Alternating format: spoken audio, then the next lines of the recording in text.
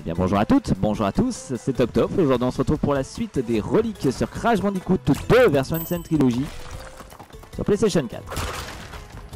Et aujourd'hui on se retrouve pour le niveau Road to Win, c'est parti. Alors pour ce niveau...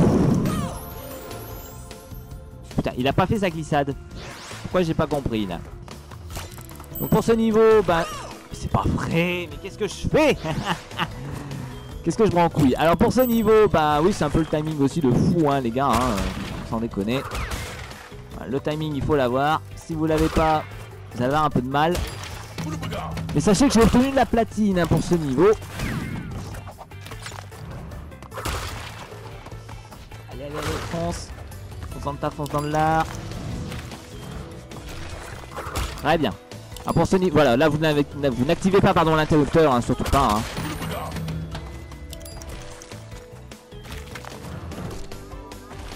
Allez monte, putain. Fonce, fonce, fonce, fonce.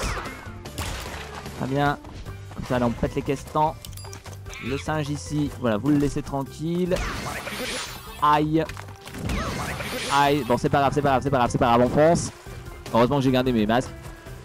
Ça va passer tout seul. Voilà, 35 secondes. Voilà, et vous voyez, en plus, j'ai même fait 2 secondes et demie de mieux que, mon premier temps. Donc, euh, vous voyez quand même comment ça se donne.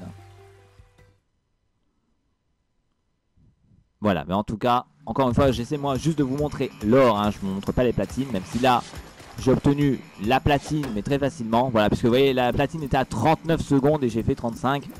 Donc euh, voilà, vous voyez quand même ce que ça donne.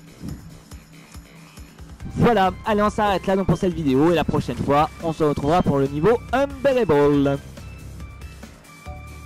Et en attendant, bah moi je vous dis à la prochaine tout le monde